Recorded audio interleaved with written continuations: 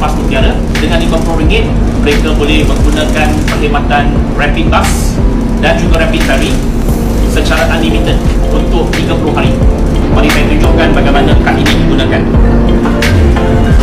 PAS ini boleh dilanggan di mana-mana kaunter Rapid. Hanya sekali saja pendaftaran dan kad ini akan diisu kepada warga negara kita saja kad ini setiap kali naik bas kita hanya perlukan tap uh, reader ini.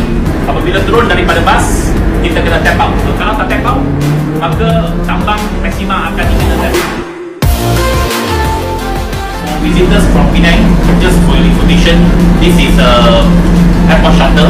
The code for this bus is AT airport transit. Just outside the arrival hall all the way to Georgetown.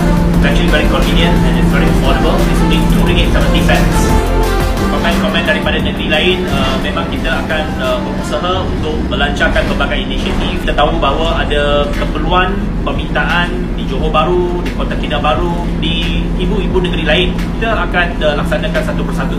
Please give us some time. We are looking at all the initiative and uh, we really hope that we can push for more public transport and we want to enhance the usage of our public, uh, public transport to more Malaysians